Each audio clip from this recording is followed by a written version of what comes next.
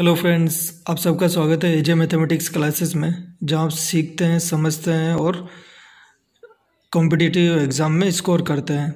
Again मैं लेके आया हूँ आपके सामने थ्री का क्वेश्चन जो कि इमेज और फुट ऑफ़ परपेंडिकुलर से रिलेटेड है। क्वेश्चन पढ़ोगे तो क्या बोल रहा है कि एक plane passing through this three point okay then the image of the plane in the point given है और उसकी इमेज हमें निकालनी है।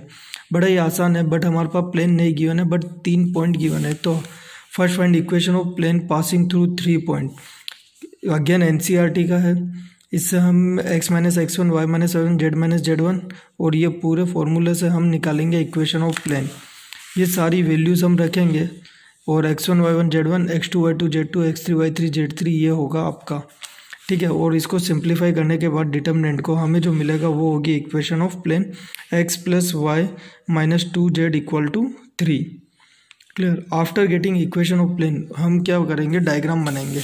हमारा जो डायग्राम क्या होगा? पॉइंट गिवन है। इसकी इमेज हमें निकालनी है। और इक्वेशन ऑफ़ प्लेन हमारे पास हमने फाइंड आउट कर लिया है।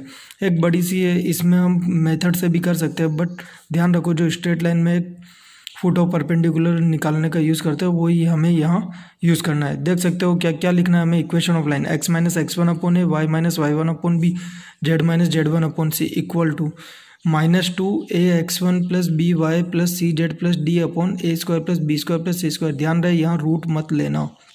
ओके okay, यहाँ हम फुट ऑफ़ इमेज निकाल रहे इमेज के लिए आएगा। अगर फुट ऑफ़ परपेंडिकुलर निकालना होता है तो यहाँ ये टू नहीं होता है। ठीक है, अब सिंपल से यहाँ ए बी सी क्या हो गया? डायरेक्शन रेशो प्लेन वो क्या होगा? वन वन माइनस टू और x one y one z one क्या हो गया? That passing point two one six ये सारी वैल्यू हम इस प्ले इक्वेशन में रखेंगे। X minus two upon one y minus one upon one z minus six upon minus two minus two okay then इस प्लेन में वापस यही पॉइंट रखेंगे टू वन सिक्स तो टू वन सिक्स जब हम यहाँ रखेंगे तो ये मिलेगा और इसको सिंप्लीफाई करने पर फोर मिलेगा। अब क्या ये एक रेशो की प्रॉपर्टी बन रही है? तो कंपेयर करना है इसको इससे कंपेयर करेंगे तो एक्स की वैल्यू इसको इससे कंपेयर करेंगे तो वाई इसको इससे कंपेयर करने पर जेड मिलेगा। तो एक्स वाई जेड की हमें जो वैल्यू मिलेगी वो हमारा होगा इमेज ऑफ़ द प्लेन और आंसर भी होगा। Okay friends you can share this video and learn thank you